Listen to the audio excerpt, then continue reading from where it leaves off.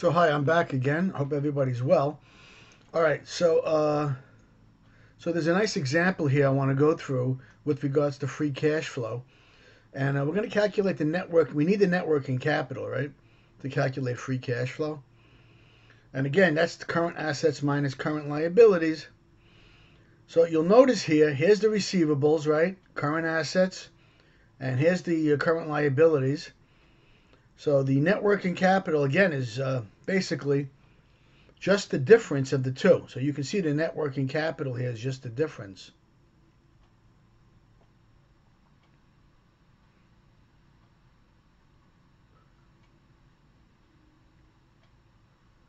So we've got this net working capital.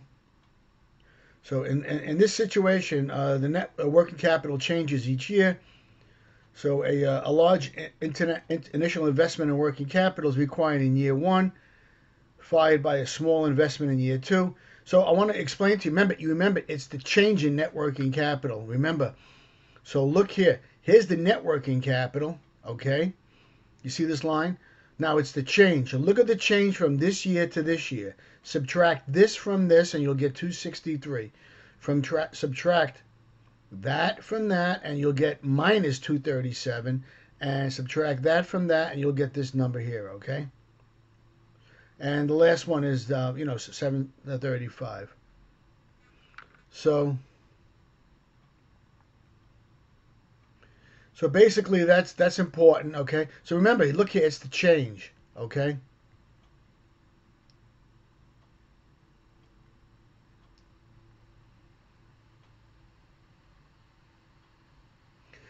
All right, so what they simply do here is they take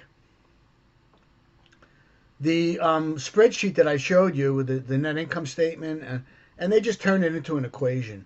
Now you can make this equation very easy by just following the income statement and the uh, and the uh, uh, cash flow statement, and and all this is is an equation, and and uh, we can go over this. If you have any uh, questions, just uh, email me and we can go over this, okay? So I just want to make sure everyone's clear about uh, these items. So in this case, you'll notice the changes, and there's no change, right? So this delta is none here. We went over this example, right? And um, so these equations, as I just simply said, are just based on um, what's going on in that spreadsheet. So, um, so you should go over that. So uh, TC times the depreciation is simply called the depreciation tax shield. Okay, and this equation right here, 8.6, is a, a simplified version of this. You can get this. So you notice what they say. The only effect of depreciation is to reduce the firm's taxable income. Indeed, we can write equation 8.5 as this. It's simplified, all right? All right, so I just wanted to make sure everyone was aware of that. And uh, then they take, basically, um, we'll get into, we'll go into net present value eventually. But I just wanted you to understand the concept of how to get free cash flow, okay?